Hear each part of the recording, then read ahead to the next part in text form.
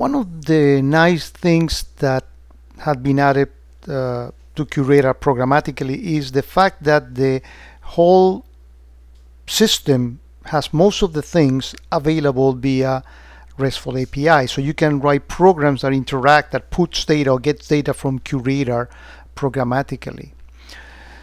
Uh, so to access the actual uh, RESTful API, you can actually uh, try it by just going into the, uh, the, the same URL that you go to the console, but you put slash API doc as I'm showing in here.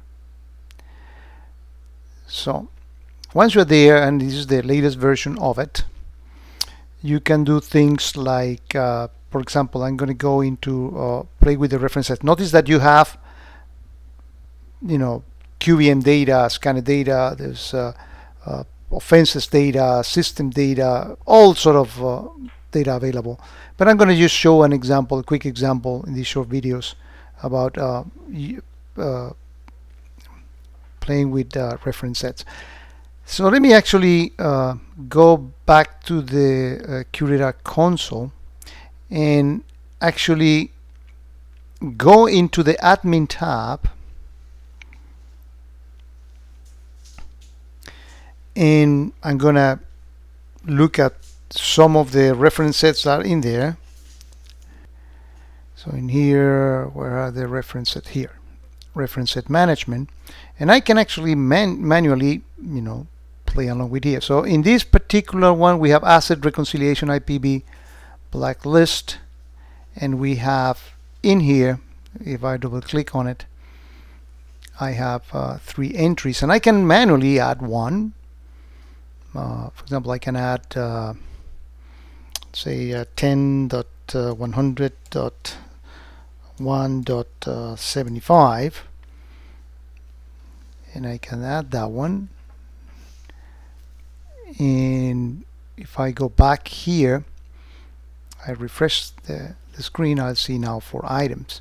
Now let's see that from the actual RESTful API so I go back here to the RESTful API and uh, in here on the reference sets I can actually get all the actual reference sets available listed.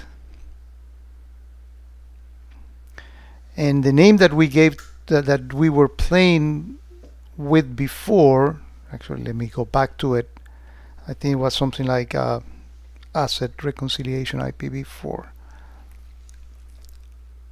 it was this one.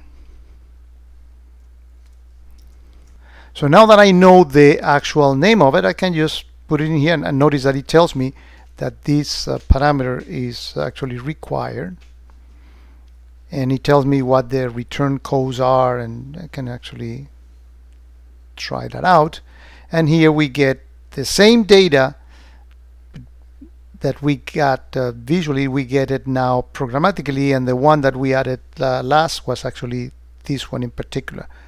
Again great way of writing programs with TDI which actually comes with uh, uh, directory integrator that comes with uh, the QRadar license to programmatically get data or put data into QRadar.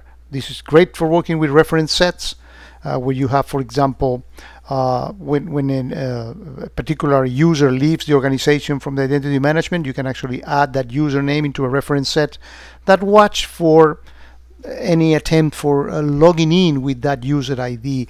When you have a user ID that is about to leave the organization, you can actually programmatically from identity management system, you can uh, use TDI to create a list of people that are about to leave. And then you can have rules that monitor the type of FTP traffic, number of uploads, downloads, data, uh, just to make sure that they are not uh, leaving the organization with some data. Again, some examples of this great capability of having almost the entire system available via the RESTful API.